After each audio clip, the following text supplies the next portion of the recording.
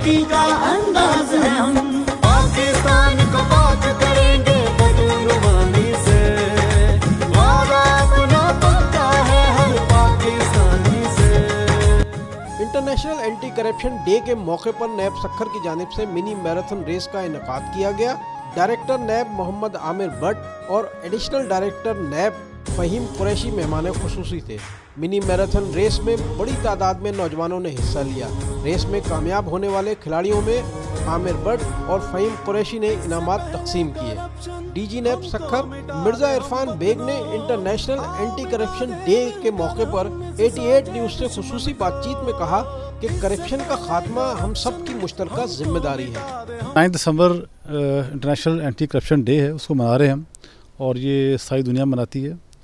इसमें पाकिस्तान खुद United Nations commission against drugs and crime के ऊपर जो हमारा कन्वेंशन है, उस पर पाकिस्तान सेक्रेटरी है।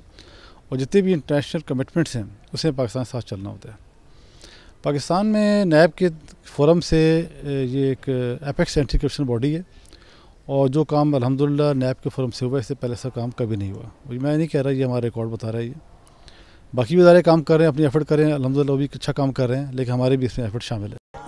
डीजी नैब का कहना था कि नैब सखर की उम्र छोटी है, लेकिन नैब सखर की टीम ने करप्शन के खिलाफ भरपूर काम अंजाम दिया है। अब इसमें नैब सखर की अगर हवाले से बात की जाए तो ये छोटा नैब है और इसकी उम्र बहुत कम है। लेकिन इसमें हमारी अराउंड कोई पंद्रह अरब की हमारे रेफरेंस सिर्फ़ फ़ूड के महकमे आइडेंटिफाई किए हैं, जिसमें तेरह अरब हमें रिकवर करके ख़जानों जमा करवा दिए हैं। कोई अराउंड सेपको की मदद से जो बिजली के फोरम पे जो चोरी हो रही थी और उसमें सर्कुलर डेट इंक्रीज़ हो रहा था।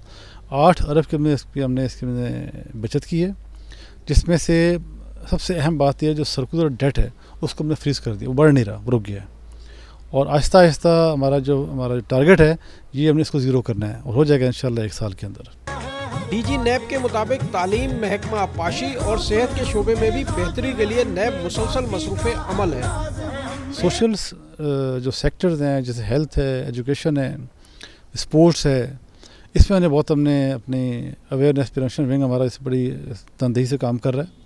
सिर्फ़ हमने हेल्थ के अंदर जो मुख्त अस्पतालों में वैक्सीन थी एंटी रेबीज़ वैक्सीन थी, इसके अलावा इसकी जो दवाइयाँ थी, इसकी एड्स की, उसके अंदर हमने उसकी अवेलेबलिटी को इंश्योर कराया हमने। हमने यहाँ पे जो सिविल हॉस्पिटल है सखर का, इसमें हमने इंश्योर किया है कि जो उसका प्लांट है, जो उसमें वेस्ट होता है अस्पतालों को उसको जलाने के लिए, उसको इंश्योर किया तो अल्लाह का शुक्र है कि सखर रीजन में जितना वेस्ट है ड्रग्स का, वो कूड़े में नहीं जा रहा, वो जल रहा है, वो ज़ाया हो रहा है तल्फ हो रहा है, अपने एस के मुताबिक। नैब सखर ने कम वक्त में करप्शन करने वालों के गिर जो घेरा तंग किया है, इससे करप्शन का तूफ़ान थमा है और सरकारी खजाने को नुकसान पहुँचाने वालों का एहतसाब भी हो रहा है। कैमरामैन शोएब मलिक के साथ वजाहत अली सखर।